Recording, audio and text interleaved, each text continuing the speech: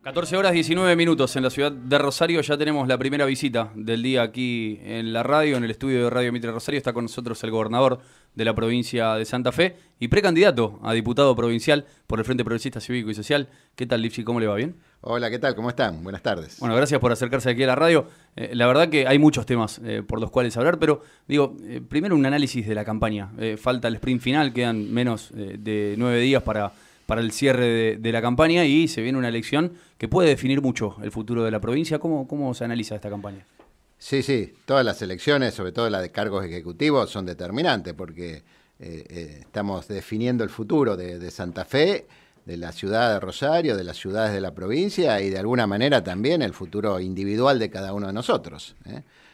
Si no, miremos, si tenemos alguna duda de cómo incide el voto, eh, miremos nomás lo que pasó a nivel nacional. Cuánta gente compró espejitos de colores, se ilusionó con un proyecto que parecía que venía a transformar la Argentina eh, y hoy estamos pagando las consecuencias, ¿no? Y la gente la está pagando de manera personal y directa. El que se quedó sin trabajo, el que no le alcanza el sueldo, el jubilado que no puede comprar los medicamentos.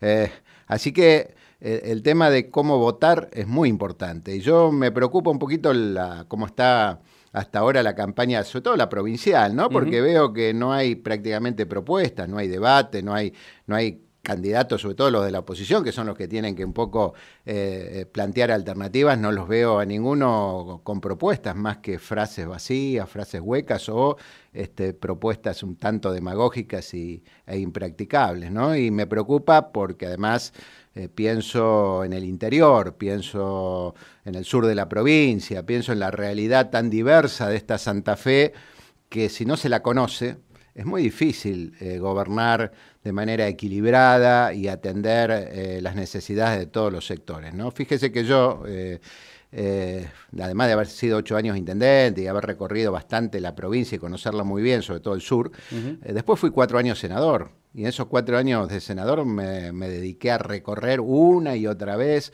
pueblo por pueblo, ciudad por ciudad, todo el territorio provincial. ¿no? Y yo veo eh, candidatos como el, intendente de Santa Fe, que nunca salió de Santa Fe, que viene a Rosario solamente a sacarse alguna selfie o alguna foto en un hotel, pero que no conoce la realidad de esta ciudad, ni las necesidades, ni Villa Gobernador Galvez, ni Pérez, creo que ni debe saber que existe Villa Gobernador Galvez. Eh, y creo que es muy difícil gobernar a, Santa Fe de esa manera. Y, bueno, y, el, Omar Perotti, que tiene más experiencia, tiene más trayecto en la provincia seguramente, pero la verdad que en los últimos años, como legislador nacional, lo vimos poco por acá, ¿no? Estuvo, no sé si estuvo durmiendo la siesta o, ocupándose de otros temas, pero no lo vimos en Santa Fe. Eh, los senadores nacionales son muy importantes a nivel nacional yo veo senadores nacionales de otras provincias cómo juegan fuerte por su provincia, cómo consiguen obras, cómo pelean los presupuestos nacionales, cómo pelean cada ley para condicionar su voto a obras, a proyectos, a presupuesto para su provincia. Y lamentablemente nosotros, por lo menos en estos cuatro años, es como si no hubiéramos tenido senadores nacionales. Eh, respecto a, esto, digo, eh, la campaña obviamente lleva al Frente Progresista a Antonio Bonfatti como candidato a gobernador. Eh, ¿Qué lo diferencia eh, de estas eh, dos candidaturas que recién mencionabas? Fue gobernador, pero antes fue diputado provincial, fue ministro de gobierno de, de Hermes Vine, o sea, conoce la administración, conoce la gestión, conoce la provincia, la realidad, es un hombre de Rosario, del sur, ¿eh? particularmente conoce la problemática de esta ciudad de Rosario y la necesidad que tiene Rosario de coordinar con el gobierno provincial. Nosotros sufrimos en Rosario muchos años, casi veinte y pico de años, desde la época de Usandizaga en adelante, la falta de apoyo de los gobiernos provinciales. ¿no? Eh, hoy tenemos desde que asumió Wiener y, luego Bonfatti y luego yo, un equilibrio en la provincia. Se atiende todo el interior, se atienden los pueblos, pero también Rosario tiene el lugar que corresponde. Eh, eh, yo temo que eso se pueda perder, ¿no? Porque hay que conocerla esta ciudad. Eh, y veo en Antonio Bonfatti además el compromiso de darle continuidad a, toda la impronta que hemos este, puesto en el gobierno provincial en estos años, eh, la obra pública, la inversión pública, la cercanía con los, con los intendentes y presidentes de comuna de todos los sectores, eh, priorizar la educación y la salud, que son siempre las nuestras banderas y que la hemos llevado al más alto nivel de, prestación que se conoce en la Argentina. Eh, hoy nadie duda que Santa Fe tiene la mejor educación y la mejor salud pública eh, del país, ¿no? Y no es poca cosa, no es poca cosa sobre todo para eh, aquel que necesita de la educación pública porque no puede pagar una escuela privada y aquel que necesita de la salud pública porque no tiene obra social. Eh, respecto a los análisis de los resultados electorales a nivel nacional, muchos se pelean y discuten si perdió el macrismo, si perdió el kirchnerismo. Lo cierto es que hasta acá ganaron todos los oficialismos. Eh, ¿Creen que se puede repetir esta lógica en la provincia de Santa Fe? ¿Cuál es el análisis de ustedes de los resultados electorales? Yo creo que es probable que aquí también gane el Frente Progresista. Eh, quizás en una elección más disputada, más peleada, porque el escenario político de Santa Fe es distinto, eh, no hay polarización, no hay solo dos, escuderías, sino que en este caso hay tres que compiten este, por, el electorado. Eh, por otro lado, nosotros somos una fuerza eh, un poco atípica en la Argentina porque somos un partido de fuerte presencia provincial, pero también somos un partido con posiciones nacionales. ¿eh? Los partidos provinciales en general siempre juegan eh, de oficialistas, cuando les conviene ser oficialistas con la presidenta anterior lo fueron, cuando les convino con el presidente actual lo fueron. Nosotros siempre hemos mantenido una actitud más coherente en lo político eso tiene ventajas, pero también a veces tiene algunos costos, ¿no?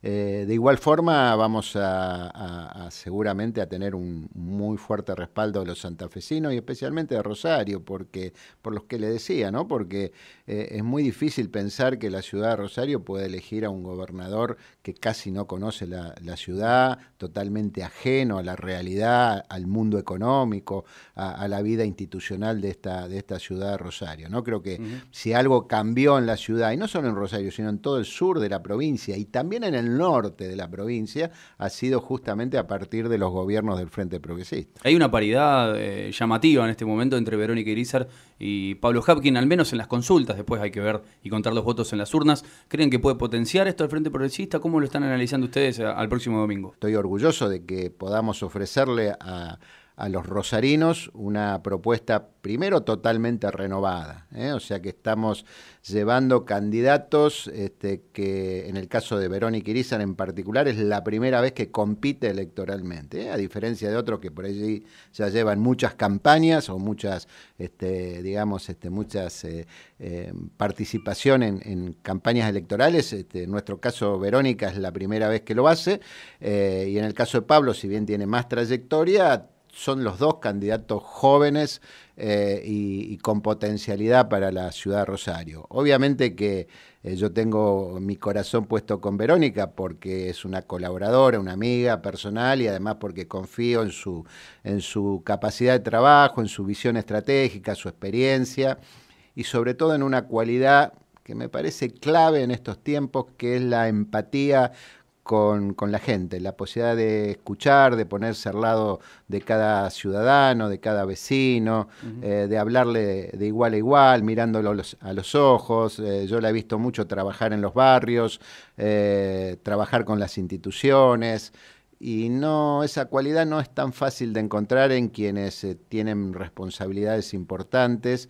eh, y me parece que es una cualidad de liderazgo muy importante para este momento de, la ciudad y del país donde se necesita eh, ser convocante, sentar a todos, dialogar mucho, convencer tener ideas claras, pero también saber transmitir esas ideas y, movilizar a los ciudadanos atrás de proyectos comunes. Tanto Corral como Perotti fueron muy duros los dos con el tema tarifas en la provincia de Santa Fe. Inclusive Corral dijo que bajaría un 20% el precio de la luz en la provincia. ¿Lo escuchó? Eh, bueno, eso solamente lo puede decir una persona que no tiene ni idea de la estructura tarifaria de la EPE o que hace demagogia barata.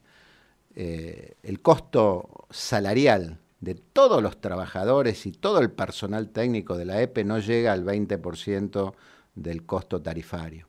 O sea que si elimináramos de un día para otro a la totalidad del personal, dejáramos a la empresa sin sueldos por pagar, no llegaríamos a disminuir el 20% del costo de la tarifa. ¿Por qué?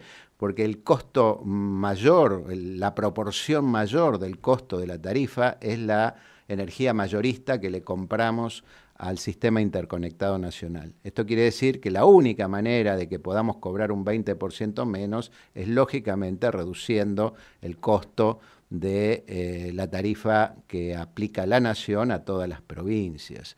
Eh, la comparación, eh, digamos, tendenciosa que se suele hacer con otros distritos es porque el costo de distribución es distinto según las provincias.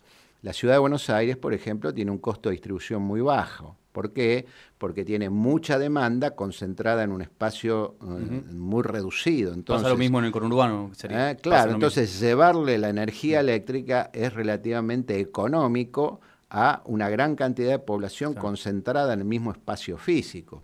Provincias como Santa Fe, como Córdoba, como el interior de la provincia de Buenos Aires, que serían los casos asimilables, tenemos costos mayores porque hay que hacer una distribución a 363 localidades, en el caso de Santa Fe, que están todas distanciadas, algunas a 700, 800 kilómetros entre sí.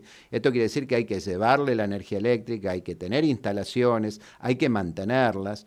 Y además como Santa Fe es una provincia muy industrial, como Córdoba, y tiene toda la industria distribuida en el territorio. No solamente hay que llevar energía para prender eh, la luminaria de la calle o para este, abastecer la heladera y el televisor de cada familia, sino que hay que llevar potencia para alimentar una industria y eso implica instalaciones más importantes, estaciones transformadoras, líneas de media tensión. Entonces todo eso tiene un costo de inversión inicial y de mantenimiento mucho más alto que la ciudad de Buenos Aires. Entonces, si hacemos comparaciones, las comparaciones tienen que ser con provincias similares. Y nosotros estamos más bajo que Córdoba, más bajo que la provincia de Buenos Aires y más bajo que Entre Ríos también.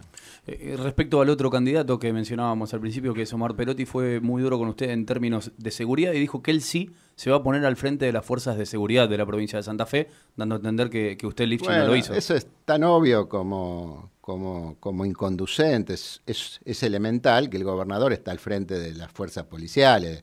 Eh, lo diga o no lo diga, lo quiera o no lo quiera, está al frente. Eh, yo he ejercido esa función, obviamente, a través del ministro que he designado, que es el ministro Puyaro, eh, que como cosa rara para un ministro de Seguridad me ha acompañado durante toda mi gestión y seguramente lo va a hacer hasta el 10 de diciembre. Eh, y por otro lado, eh, hemos sido muy firmes en el control de la policía. Hay más de 300 policías exonerados durante nuestra gestión, eh, cosa que no ocurría anteriormente. Yo quisiera saber cuántos fueron exonerados durante los 24 años de gestión del peronismo, donde Perotti era altísimo funcionario de esta provincia. Eh, y por otro lado, hemos eh, reorganizado el sistema policial como nunca antes se había hecho. Estamos eh, llevando adelante un proceso inédito de reordenamiento del policiamiento en la ciudad de Rosario, que luego vamos a trasladar también a Santa Fe con la construcción de las estaciones policiales por distrito, reemplazando las viejas comisarías que eran más un problema que una solución para, para la seguridad.